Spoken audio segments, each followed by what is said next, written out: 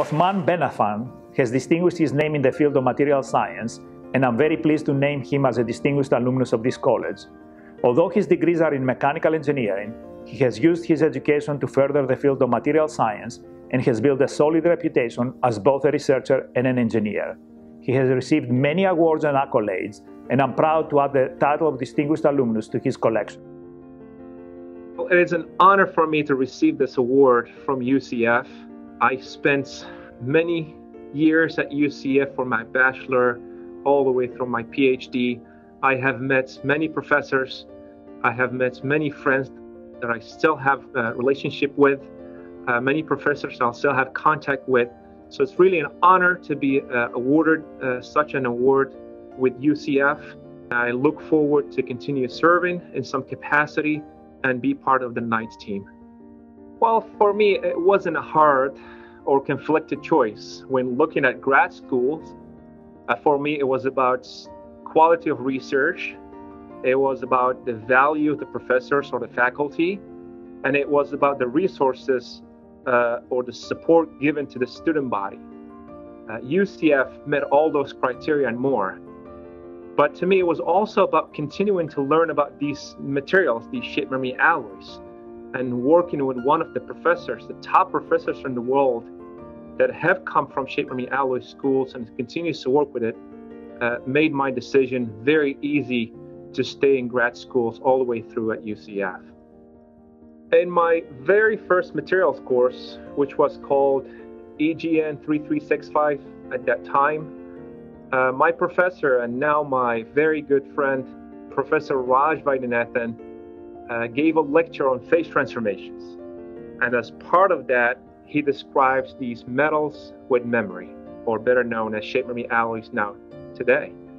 Uh, so that topic at first, it seemed like a material of the future, something you will hear on TV, on Hollywood. But after learning a little bit more, it was fascinating to me how materials can do such a thing.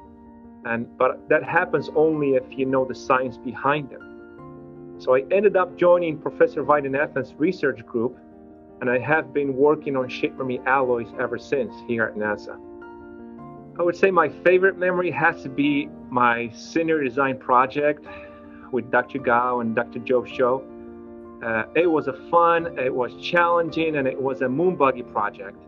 Uh, that project fulfilled to teach me a lot. It, it, served to fulfill my bachelor's degree, but also build some lifelong friendship with my teammates that some of them I'm still with contact. So from my perspective, my example, it was initially intimidating to seek advice from well-established professors. But it's well worth it when you find the right person, the right professor. I had the mindset when I was going through school that no one will hand me my career. I had to go get it. That meant uh, asking questions, stopping by professors' offices, and asking those questions. Uh, some conversations didn't lead to anywhere, but that one conversation I had, for example, with the professor, it opened an opportunity for me that became a career, which I love. So uh, I would say my advice: don't be scared. Get asked those tough questions, and don't be too late on planning your career where you want to be in your junior or even senior year. Apply for mentor for uh, things like internships or uh, pathways in the field of experience that you hope to be, and most importantly, follow your passions and, and continue uh, excelling. Other than the location in the beautiful Central Florida, I would say the curriculum and those responsible for implementing such curriculum.